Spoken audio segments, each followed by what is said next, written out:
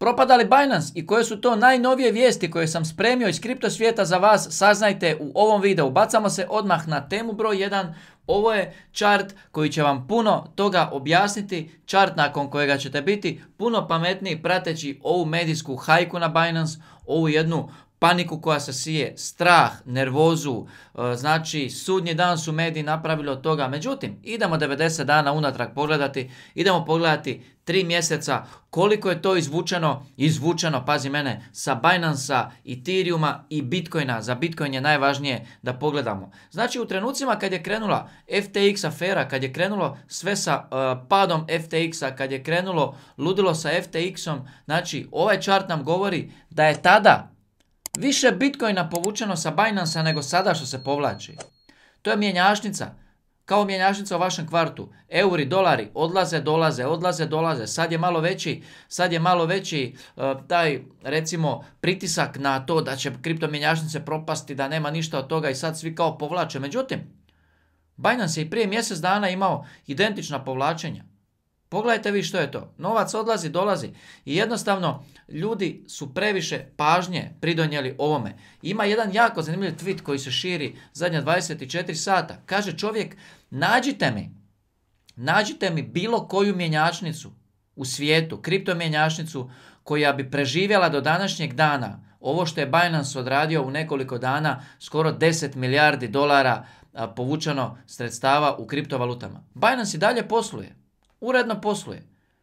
Tako da, kaže, trebale bi sve mjenjačnice testirati na takav način da svi korisnici kažu idemo povlačiti sredstva pa da vidimo koliko će izdržati. Za sada Binance posluje uredno, normalno, bez ikakve greške, tako da mislim ja ipak, neko moje osobno mišljenje, nije nikakav financijski savjet, nije kripto savjet, nemojte se molim vas ravnati po, po mojim nekim mišljenjima. Vi napravite uvijek za sebe research, vi donesete odluke, međutim neko moje mišljenje je da je Binance ipak ovaj, će izvući ovu priču, da će sve biti u redu, da će ostati stabilni i tako dalje. Imamo još vijesti, bacamo se, bacamo se odmah uh, na njih. Uh, Tezos i Red Bull, pazite ovo, ne znam da li ste vijest znali ovu, uh, Tezos je i Red Bull Formula 1 momčad raskinuli su suradnju. Od 2021. godine u petom mjesecu kad su potpisali ugovor, objavili su to na sva zvona da će to biti long term, dugoročno partnerstvo i tako dalje. I evo sada prekid suradnje. Tako da sam htio i to vam pokazati. Imamo dalje, idemo malo do, Meta Hira. Meta Hero je odlučio uh, ići na kako ćemo to reći, ne doksanje, nego prezentaciju sve jednog člana svog tima, sve jednog stručnjaka koji radi unutra i evo krenuli su s jednim po jednim, tako da eto isto lijepo, lijepo od njih.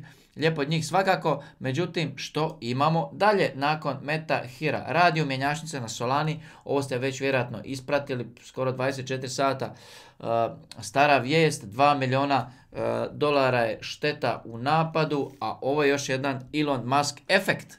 Elon Musk je zapratio na Twitteru mjenjačnicu OKX. Isti tren je vrijednost tokena njihovog skočila za 7%. I sad su to prozvali uh, Elon Musk efekt. Međutim, ako ste malo duže znate da nije baš on uvijek imao efekt, to se najbolje pokazalo i na Dođu i na mnogim drugima. Kad je baš ono najjače išao pumpati, na kraju se ne bi dogodilo apsolutno ništa. Međutim, u godini koja je ispred sigurno ću bježati od tokena, od mjenjačnica, pogotovo nakon svega što je bilo sa, sa FTX-om, tako da zato volim kriptomat. Nemaju svoj token, maksimalna transparentnost, nema fake novca i tako dalje. BlackRock, BlackRock ste čuli, sto puta već za BlackRock, 10 trilijona dolara upravljaju portfolijem, to je strašno, strašno, strašno, znači iznos. Jedan zanimljiv video, sinoć sam gledao, znači Larry Fink, njihov CEO je izjavio rečenicu, znate koju? Kaže čovjek, tokenizacija je budućnost. Tokenizacija je budućnost. Wow. Stalno neka panika oko mjenjačnica se nastavlja. Gemini mjenjačnica je bila nekoliko sati dolje. Opet, međutim, sve je krenulo dalje ok. Uh, I onda dolazimo do toga, ako ste početnik u kripto, ako ste početnik u kripto svijetu, ako je ovo tek za vas neko malo istraživanje, u 2023. ćete početi sa nekim svojim prvim investicijama, evo ipak jedan savjet. Neka vaša najvažnija investicija za ulazak u kripto bude kupovina novčanika. Je, malo su skuplji, ali ipak neka ono što holdate, neka ono što čuvate dugoročno, ono s čim ne želite tradati svakodnevno, neka ipak bude u vašem džepu. Tako da najvažnija i najbolja investicija svakog čovjeka, svakog ulagača u kripto svijet je po meni broj 1 edukacija i broj 2 ledger. A onda ćemo sve dalje. E, što imamo dalje? Što imamo dalje? Kompanija Mazares, ovo vjerojatno već znate, koja je radila audit za Binance, KuCoin, Crypto.com, povukla je sva svoja izvješća. Mm, ja sad kažem, ok, te kompanije koje daju ocjene, koje daju te neke razno razne pečate, certifikate, sve te kompanije jednostavno imaju i svoju cijenu i, i može se možda s njima i lobirati i da li su oni baš toliko neovisni i tako dalje. Vraćamo se na početak videa. Možda je najbolji audit taj kad ljudi kažu idemo mi svi povući sredstva sa mjenjačnice pa da vidimo da li će oni preživjeti. Što se sad događa Binance-u. Možda nema boljeg audita od toga.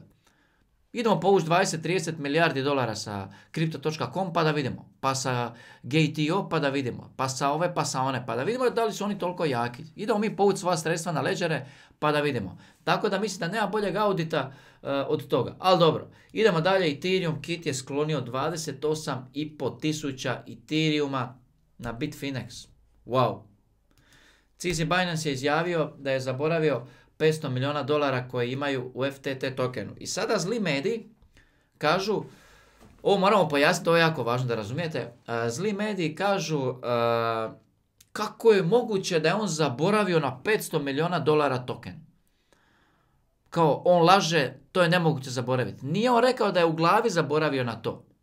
Nego je rekao da je Binance zaboravio na FTT token, što znači imalo ko svača kripto svijet, imalo ko kuži, imalo ko zna zbrojiti neke stvari, to znači sljedeće. Mi znamo da imamo 500 milijuna dolara u FTT tokenu, međutim na to smo zaboravili, nećemo ih dirat, nećemo ih prodavati, zato jer ako mi prodamo to, dampat ćemo svoje vlastite korisnike i nama se više isplati držati ga na našem stanju ako treba do nule, da zaštitimo naše korisnike koji su tu, da ih ne dampamo. Binance zna, ako on sada proda sve FTT tokene, što će se tek tada dogoditi. FTX je ovako onako mrtav, međutim ovo bi bio udar na korisnike, na kripto zajednicu, tako da Binance to ne želi napraviti. I kad, kad CZ kaže, mi smo na to zaboravili, to je kao kad vi date nekome 20, 30, 50 dolara, posudite i kažete, ma ja sam na to zaboravio. Nisi zaboravio, znaš ti za to, ali računaš Ništa od toga više nikada.